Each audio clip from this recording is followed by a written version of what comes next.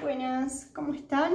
Bueno, les quiero hacer este video cortito em, para mostrarles cómo prolijo los platos que les mostré en el video anterior, en el último. Em, quedaron así, ven que queda como el bordecito un poco marcado. Acá quedaron, quedó con estas rebarbitas de arcilla, ¿sí? Lo mismo con el otro. Entonces para emprolijarlo lo que hago es, una vez que están secos, ¿sí? recuerden que, que se secan lento con el diario arriba, una vez que están secos, con una esponjita de estas verdes, son eh, esponjas de fibra, creo que se usan para la parrilla, eh, que son bien suavecitas, vamos a ir de a poquito lijando los bordecitos para emprolijar.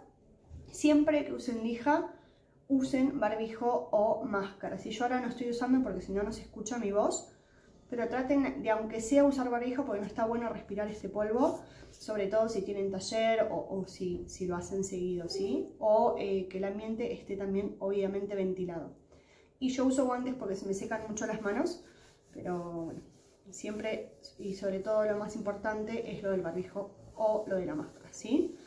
Van a ir de a poquito, siempre tengan cuidado con los platos, no hacer mucha presión, tratarlos con mucho cuidado porque se pueden quebrar muy fácil.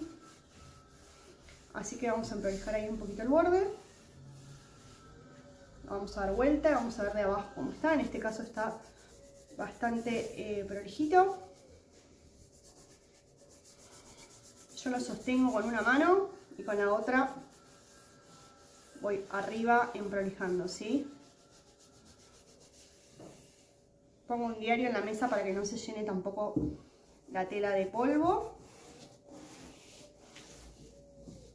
Y lo mismo voy a hacer con estos dos. En este, ven que le quedan estos pedacitos, le paso por arriba, la textura no se borra, queda mucho más prolijo, ¿sí? Además esto por ahí cuando se hornea después, eh, como tiene borde, queda medio filoso y es incómodo. Manejando y, como ya les dije, ojo con la presión que hacen. Y con el otro, les quería mostrar una opción de cómo pintarlo que, está buena. Estos están, eh, obviamente estos platos todavía no están horneados, ¿sí? No los, no los podríamos lijar. Antes de, hornear va este paso, al menos yo lo hago así. Y ven que están súper prolijos. Es apenas un poquito lo que, lo que estoy emprolijando porque yo siempre trato de emprolijar lo máximo que puedo las piezas cuando están aún frescas o en estado de cuero. Y con un pincelito de estos, viejito, le sacamos el polvo. Después los platos para hornear en el bizcocho, o sea el bizcocho es la primera eh, quema digamos, donde ya después pasa a ser cerámica. Los platos yo no los apilo más que de a dos.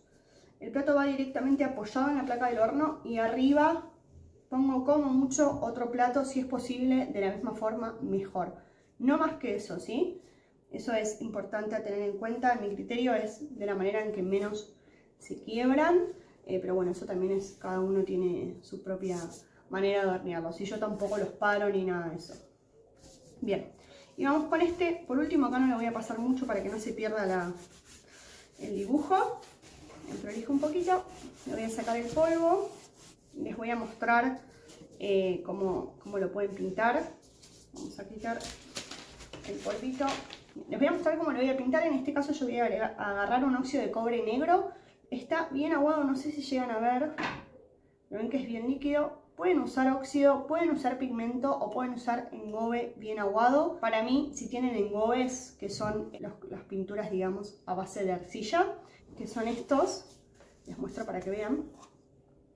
Estos bien aguados también van y no hace falta que tengan pigmentos y engobes. Yo creo que con este material ya está perfecto. Pueden ir variando la forma de pintar, ¿sí?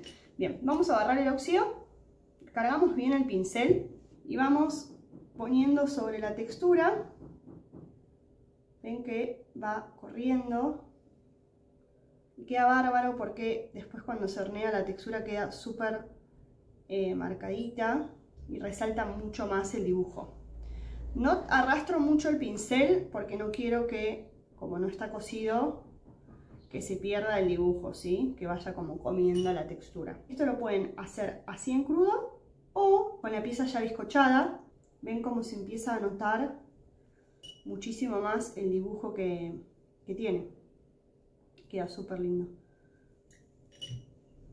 Bueno, Quería mostrarles básicamente eso, eh, creo que nunca les había mostrado cómo prolijo los platos y me parece que está bueno eh, como ir mostrándoles todo el proceso. Como siempre les digo, esta es mi forma de hacerlo, eh, hay un montón de formas más, vayan probando también lo que, lo que a ustedes más les sirve y tengan mucho cuidado también a la hora de prolijar. Uno por ahí siempre tiende a, a querer emprolijarlas demasiado y es ahí cuando terminan rompiéndose las piezas y, no está bueno. Es, hay que saber eh, cuándo parar y cuándo detenerse a la hora de emprolijar. Y también eso que les comentaba de tratar de usar barbijo o eh, máscara para no estar respirando polvo porque no está bueno a la larga. Así que, bueno, espero que les haya gustado, que les haya servido este videito corto. Cualquier duda, como siempre, me la dejan en comentarios y recuerden que en la descripción están mis redes sociales y mi tienda online si quieren chusmearla y nos vemos en el próximo video.